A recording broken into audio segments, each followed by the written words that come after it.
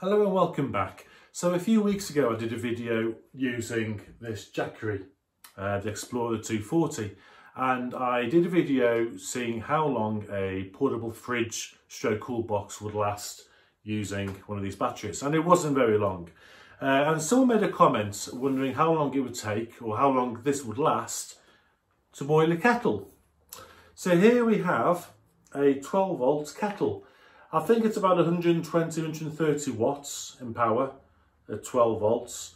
Uh, and it holds about two cups worth of water. I've probably got about um, about a cup and a half. I've not filled it completely full. It's probably about up to there. But I'm interested to see how long it would take for this to actually boil. Now, I've never used this before. Um, I've tried it out for a couple of minutes just to make sure it works and it gets warm, but I've not actually tried it. So let's see how long this will last boiling that. I can't see it being very long, but let's have a go. So we've got the kettle here.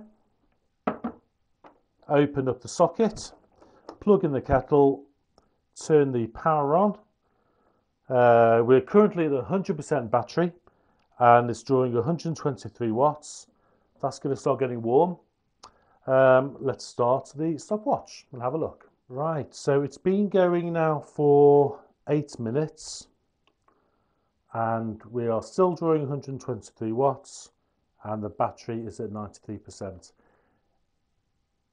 It's warm to touch. I can't hear any bubbles inside yet, but uh, it's certainly getting there. Okay, let's give it a bit longer. Okay, so it's been 13 minutes. We are 89% battery, 124 watts. That's getting quite hot to touch. And if you put the microphone close, you can probably hear it boiling inside, or the bubbles at least, popping away. Okay, let's give it a little bit longer. Right, we've been going 16 minutes. 124 watts still and it's 86% battery. So we're getting there.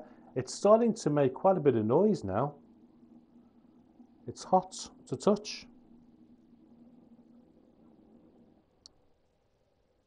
See a little bit of steam coming from it. Let's have a look inside.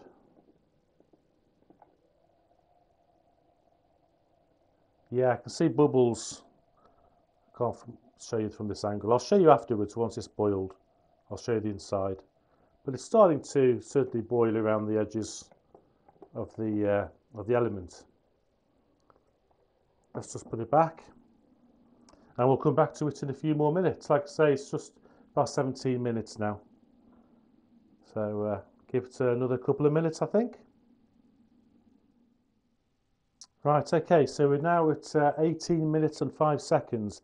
It's just clicked and the light's gone to green. And we're at 85% and we're just drawing one watt which is presumably just the circuitry inside. So that's not too bad really. 18 minutes. For the power of the kettle that's not too bad obviously. Okay let's have a look inside. Okay so we'll very carefully open this up. There we go so you can see the elements in there. Uh, a bit of steam coming out. Let's see uh, how much water we have in here to use. So this is um, a largish mug. So we'll have a look to see what sort of volume I've just boiled.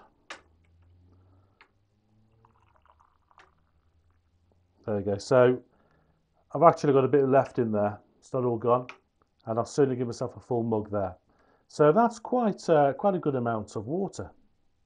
I think for 18 minutes, it's not too bad.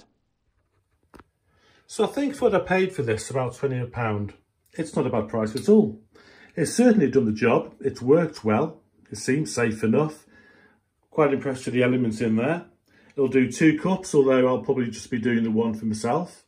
And, um, you know, using only 15% of my battery, I'm very impressed. This will be ideal to use in your car or your camper as you're travelling along.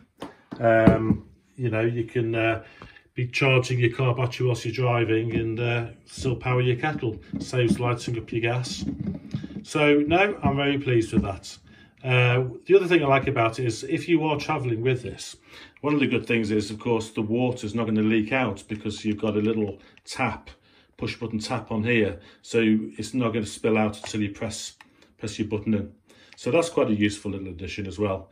Um, the one thing I did notice, the wire did get a little bit warm. I think if it had got any hotter, I would have been a bit concerned. However, it didn't go soft, uh, but there was a little bit of heat from the wire. But once it got to a certain kind of temperature, it didn't seem to get any worse throughout the experiment. So I'm not overly concerned about that. But certainly it did the job and uh, it did it better than I thought it would. So potentially it's uh, it's a viable option if it's something that you think you might need. Um, I'm not advertising these, I'm not doing proper reviews, that's not the purpose of the video. However, I did get it from, uh, where did I get it from? Amazon. So I'll, uh, I'll hunt out the link and I'll, uh, I'll stick some in the description below if you are interested. But uh, like I say, it makes no odds to me. I'm not, uh, you know, I'm not paid or, you know, advertising this at all. So.